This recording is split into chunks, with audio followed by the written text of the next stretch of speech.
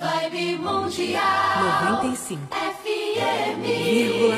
A rádio que toca a sua vida.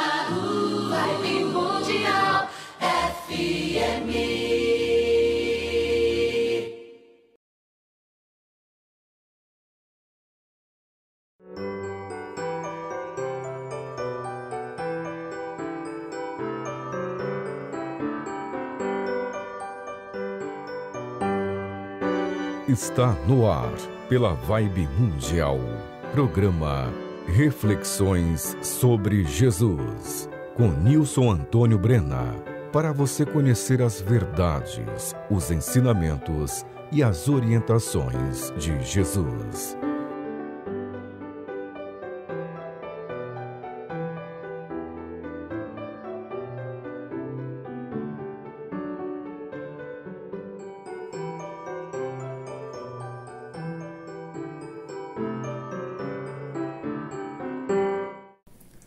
Olá, eu sou Nilson Antônio Brena, biólogo. Muito obrigado por você ter escolhido este programa Reflexões sobre Jesus para ouvir. Ele será muito importante para você.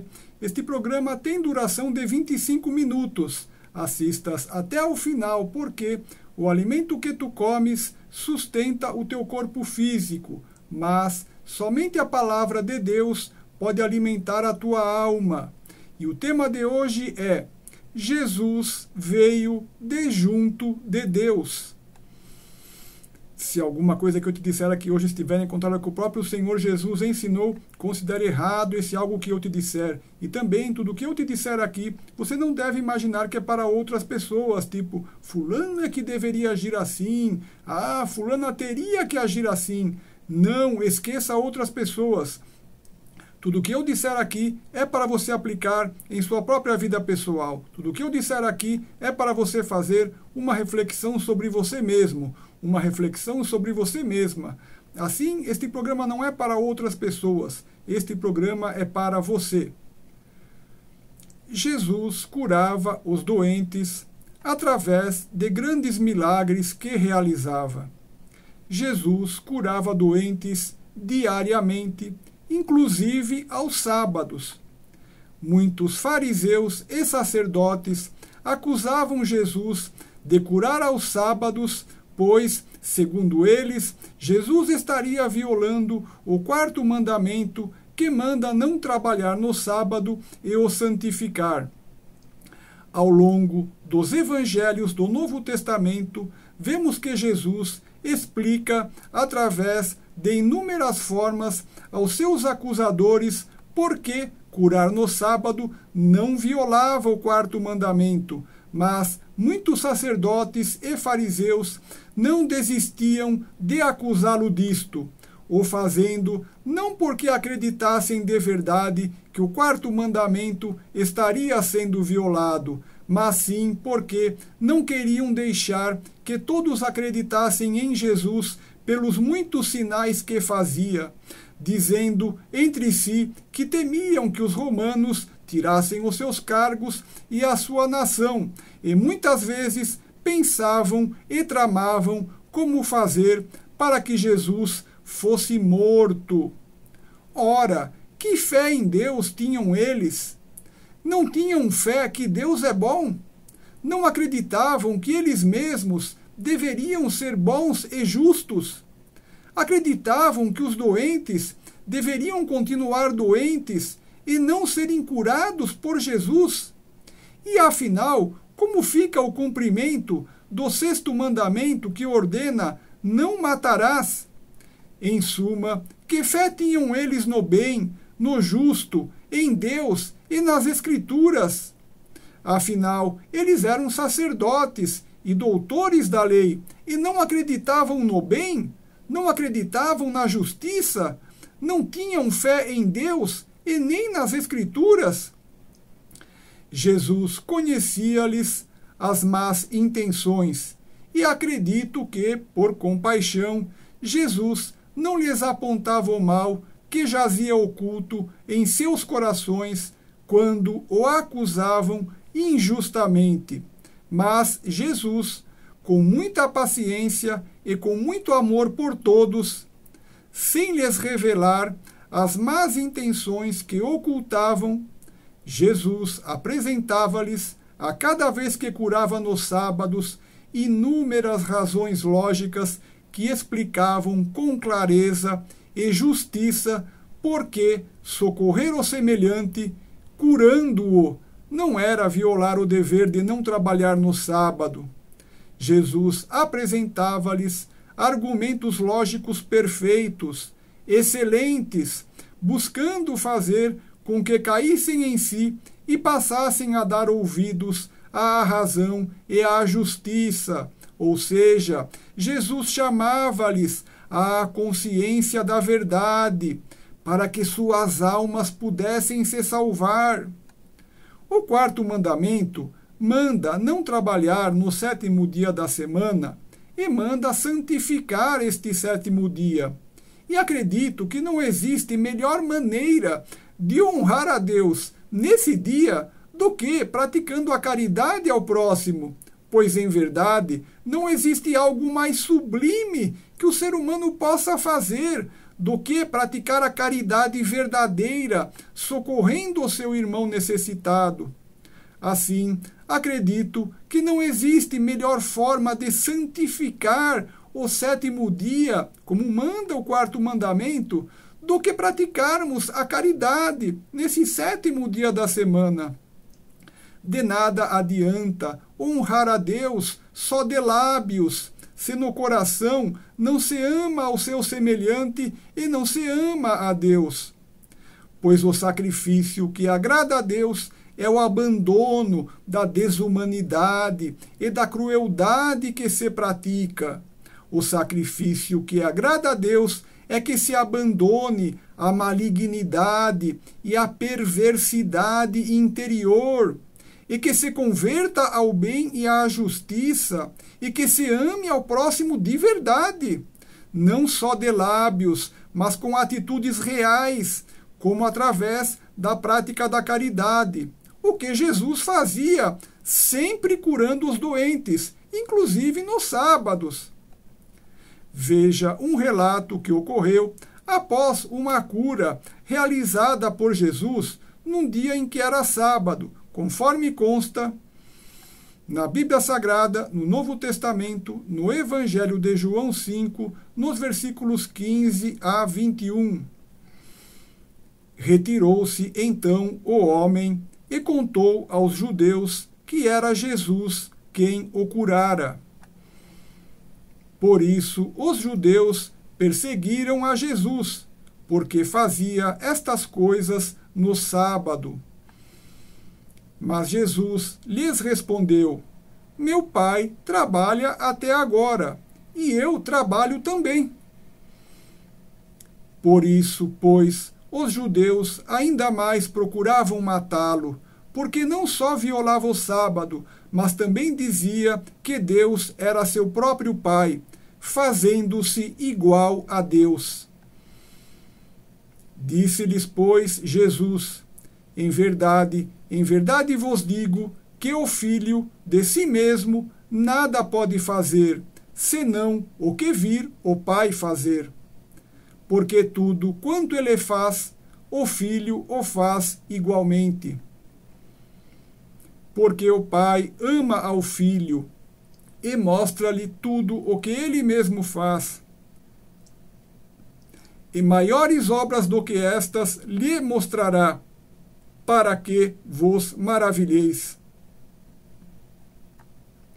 Pois, assim como o Pai levanta os mortos e lhes dá vida, assim também o Filho dá vida a quem ele quer.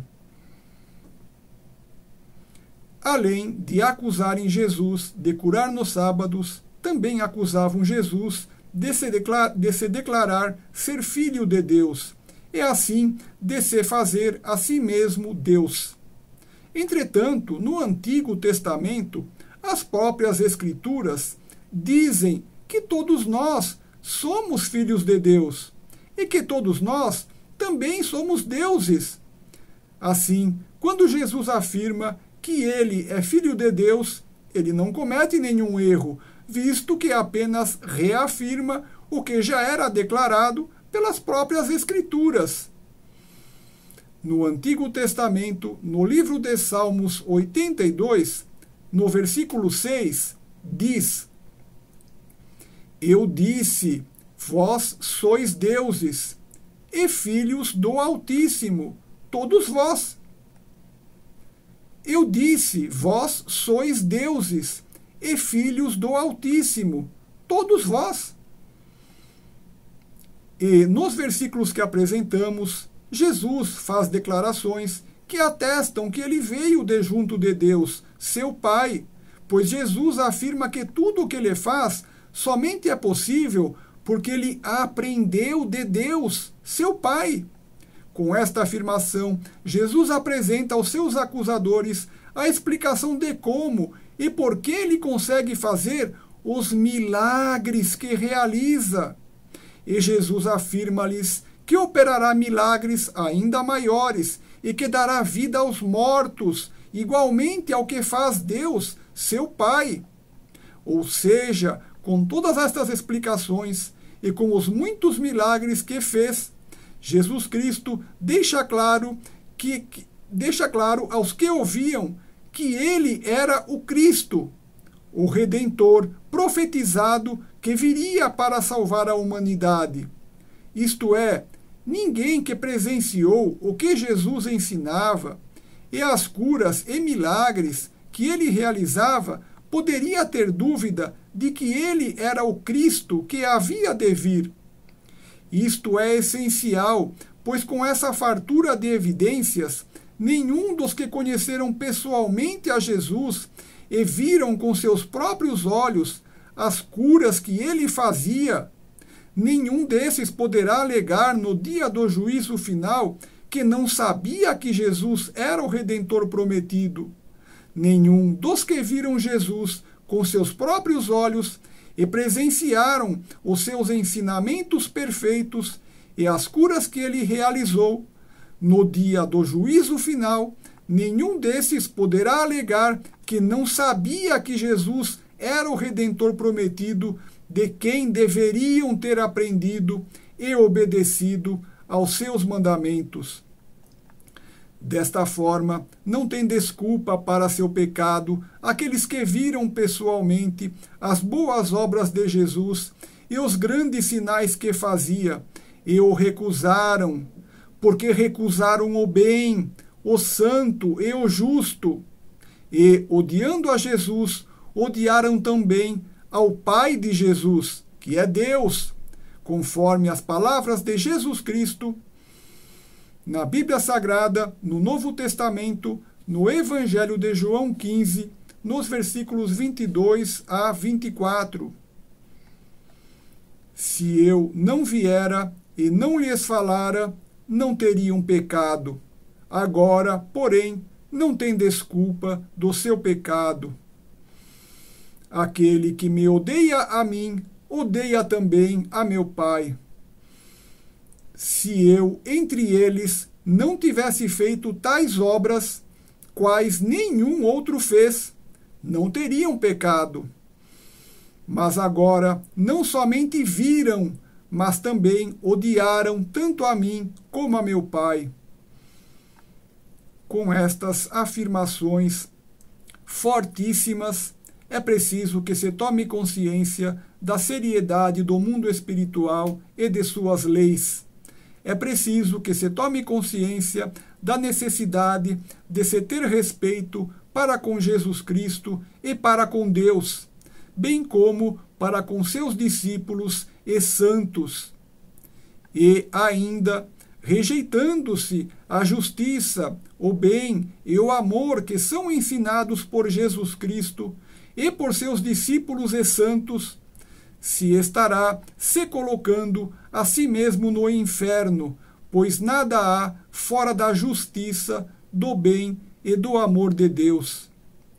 Também note que Jesus Cristo e Deus podem operar milagres em tua vida mas uma vez que tu recebas estes milagres, uma vez que tu recebas a cura de tua doença através de Jesus Cristo e de Deus, deve passar a haver de ti o respeito e a seriedade perfeitos com relação ao mundo espiritual e divino, pois ali não há espaço para o cometimento de palavras e atos vãos e inúteis, como tão comumente se faz no mundo dos homens. E ainda, tendo obtido uma grande graça de cura através de Jesus Cristo e de Deus, se esse alguém voltar a pecar, poderá lhe sobrevir coisa pior. Assim, assim, tendo recebido uma grande graça de cura, deve-se passar imediatamente a estudar os mandamentos de Jesus Cristo e de Deus presentes na Bíblia Sagrada, e assim fazê-lo até o final de sua vida, guardando então todas as leis de Deus que aprender através das Sagradas Escrituras. Continuando nosso estudo, na sequência dos versículos iniciais, veja o que Jesus Cristo diz na Bíblia Sagrada, no Novo Testamento, no Evangelho de João 5, nos versículos 22 a 20 e 23. Porque o Pai a ninguém julga, mas deu ao Filho todo o julgamento, para que todos honrem o Filho, assim como honram o Pai. Quem não honra o Filho, não honra o Pai que o enviou. Jesus está afirmando que Deus, seu Pai, lhe deu o direito de julgar a todos os homens. Jesus diz que lhe foi dado o direito de julgar para que todos homem, para que todos honrem a ele, Jesus, o filho de Deus.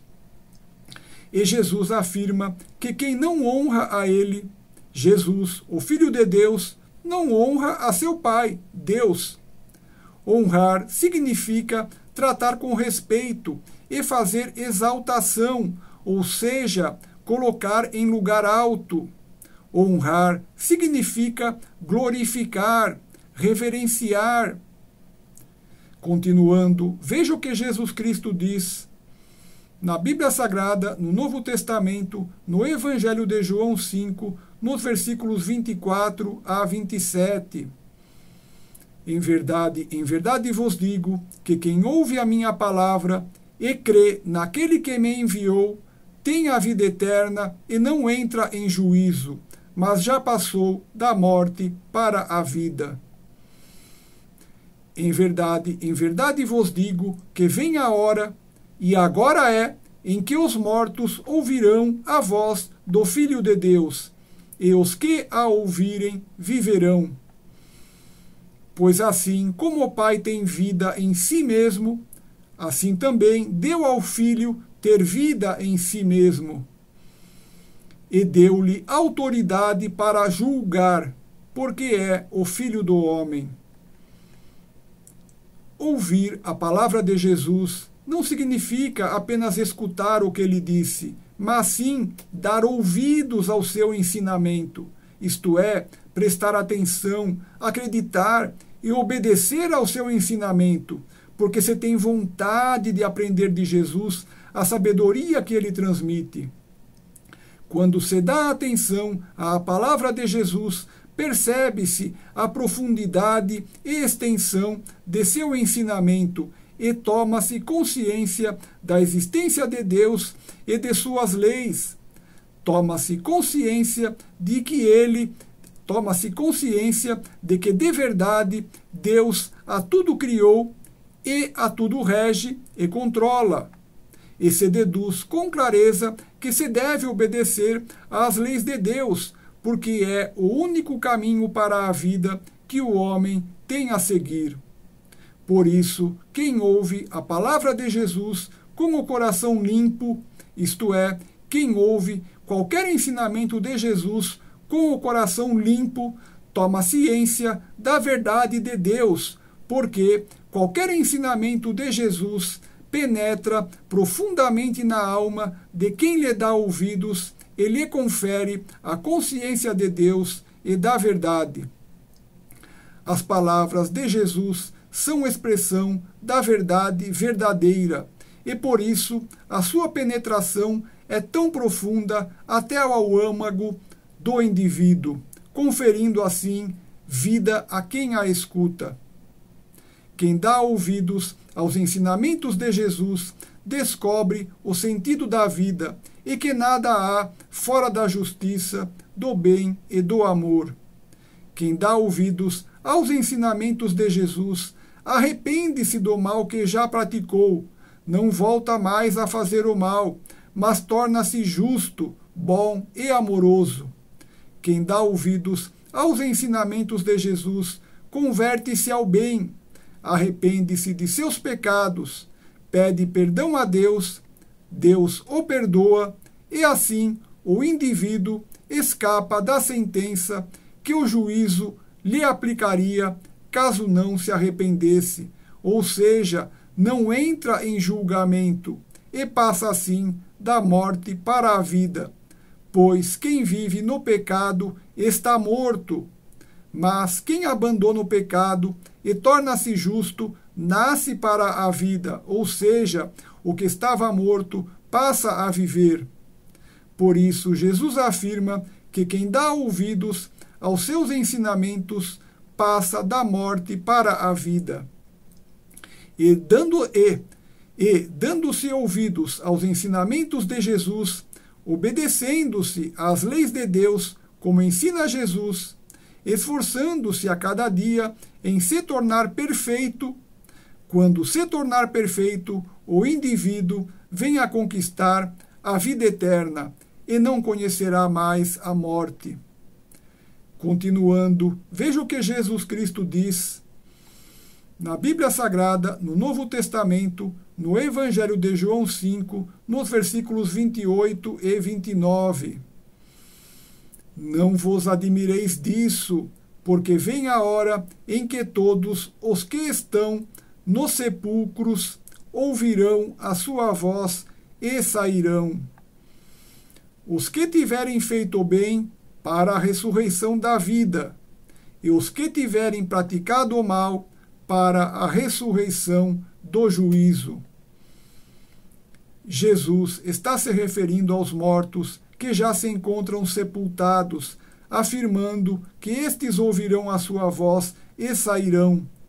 E Jesus afirma que aqueles que durante a sua vida fizeram o bem irão para a ressurreição da vida mas aqueles que praticaram o mal irão para a ressurreição do juízo, isto é, do julgamento que ocorrerá a aqueles que não se arrependeram dos seus pecados e não se converteram ao bem.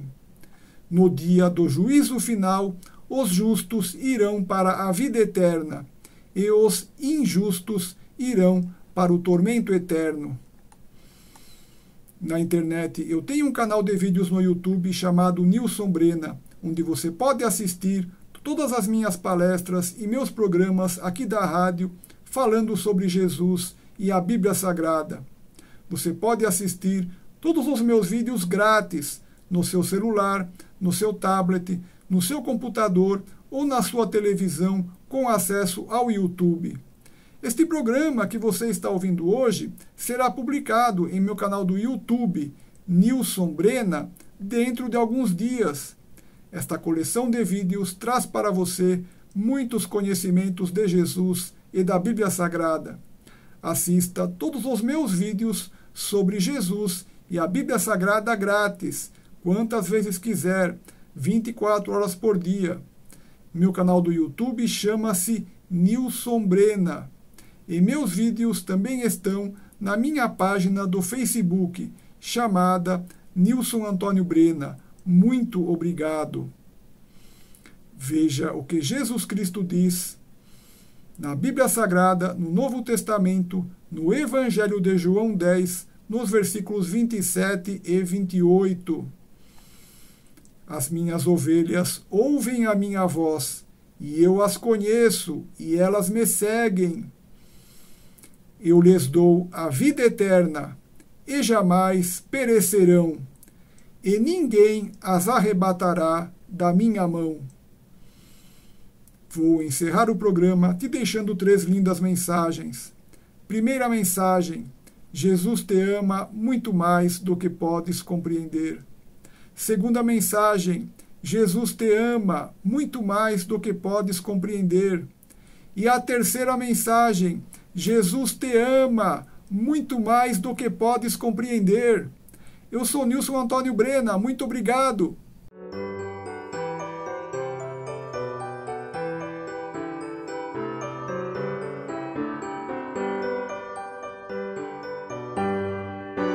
Você acaba de ouvir na Vibe Mundial programa Reflexões sobre Jesus com Nilson Antônio Brena. Para você conhecer as verdades, os ensinamentos e as orientações de Jesus.